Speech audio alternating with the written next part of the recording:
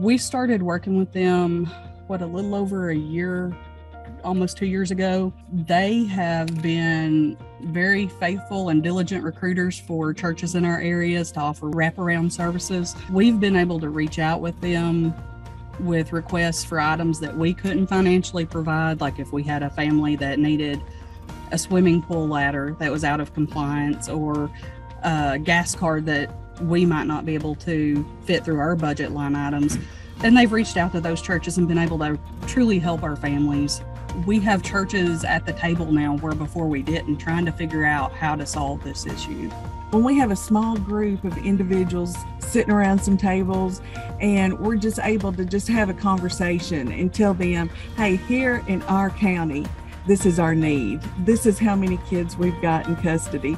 It just makes a world of difference. And then, you know, for the group to stop and they'll immediately just start praying for those children and praying for the homes and then just start thinking about what each church and what each individual can do to make a difference for those families and it's really helped with awareness and just kind of spreading our story and what's going on here usually our role is just to share the information, to share the data, to share that here in our little area of Tennessee, it's 14 counties, we've got 800 kids in foster care. And just to see people's faces in the shock of those numbers. We've had one church that started having opportunities where uh, foster parents, they kind of have like date nights where they can bring the kids, drop them off. They know the kids are going to be fed, kept, entertained, and they can go off and have a great night on their own and spend some quality time together and know the kids are well taken care of. My thought would be that if each church in our area